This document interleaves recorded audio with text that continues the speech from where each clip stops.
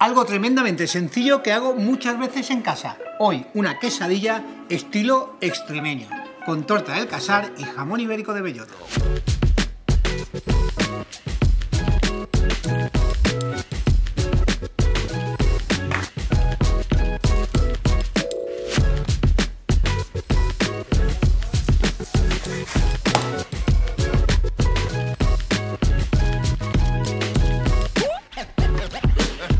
Quesadilla estilo extremeño. No siempre tiene que ser una quesadilla al estilo mexicano.